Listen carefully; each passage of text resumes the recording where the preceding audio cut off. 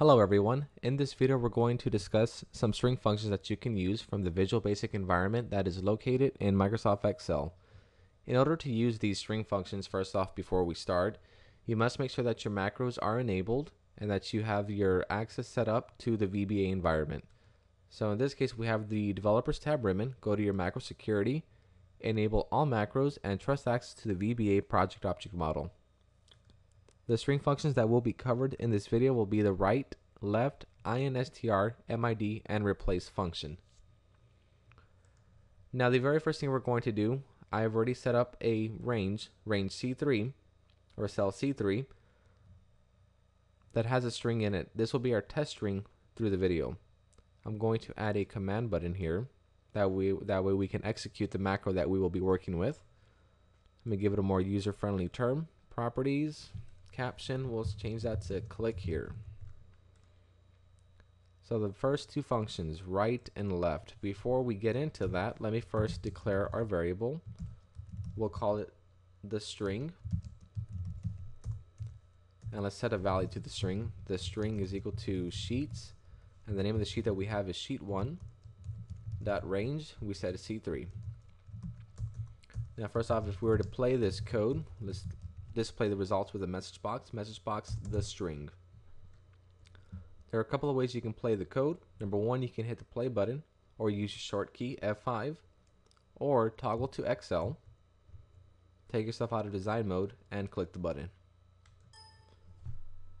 We now have the value being displayed that's located in range C3. Now let's move on to the string functions. Back in design mode, we're going to go on and double click the command button. I'm going to use the same variable, the string equals right, and we'll put the string, and you want to put the number of characters you want to look for on the right hand side. So let's just say we put the number 5, and we'll play the code. We have the five characters that are located, or that are last we have the last five characters that are located to the right. Now, the left function will do the same principle, same action, but of course getting the characters that are on the left. Play that out and we should get the word hello, and there you have it. Now the next function that we're going to discuss is the instr function. This function is a little bit more complex instr will look for a certain character or phrase and return the the number the number value of where the position is of the phrase or character you're looking for. So in this case, let's say we want to look for the first exclamation mark in this string. We can use the instr function for that. And to do that, I'm first going to remove the code that we had from the right and left function and we'll do a message box.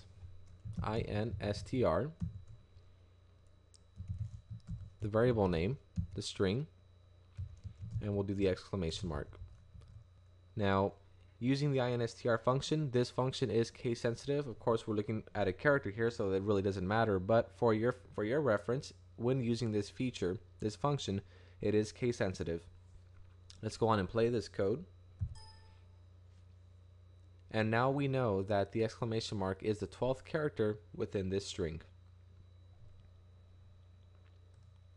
Now let's let's let me show you why this is important and why you might want to know how to use this function. Because the next function, MID, the MID function will return a string based on a starting point and endpoint that you give the system. So let's just go on and work on this. Let's just say that you want characters that are located after the exclamation mark in this string. Let me show you how to do that using the MID function and the INSTR function. So if we notice here with the message box, the INSTR function gave us a value. The value was 12. That was the starting position of the exclamation mark. So let's just put starting position equals instr, the string, and then the exclamation mark. Now we're going to use the MID function, but we'll display our results using a message box, message box MID. And remember, we're working with the string variable. You want to give it the starting position.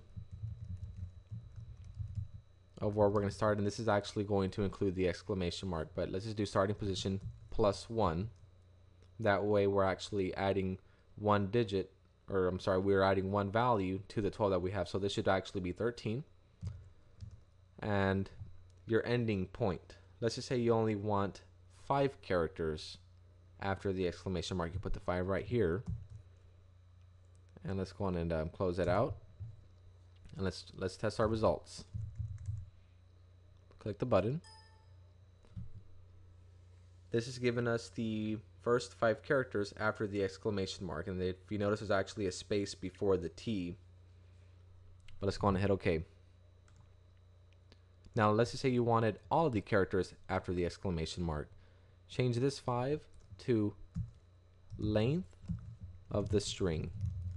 This will actually return a little bit more since we actually truncated a few characters, but I mean this will give you assurance that you're going to get all of the characters after the exclamation mark. Let's test our results. You have the space. This is just a test. And my name is insert name. Now the last string function that we're going to discuss is the replace function. This one is very simple. And let's go on and go to our source code. Let's remove what we have already. And what we're going to do is use the same variable, this string, equals, replace, open parentheses, go on and put same variable, the string. Now you want to first type in the string you want to find. In this case, let's actually use this piece right here. Insert name, we'll copy all of that. Let's go back to the source code. and we want to replace that, let's just say, with my own name, Alex.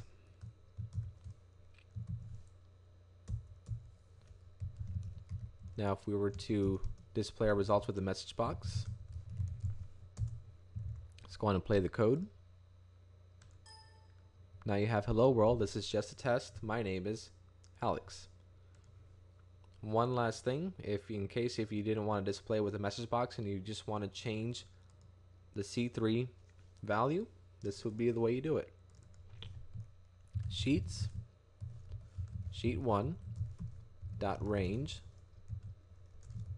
C3 equals the string. Let's go on and execute that code.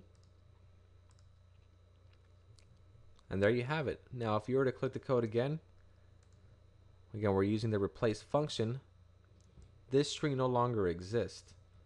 There is no error handling required for this. You won't get any kind of errors if you were to play the code again. So let's go on and click it.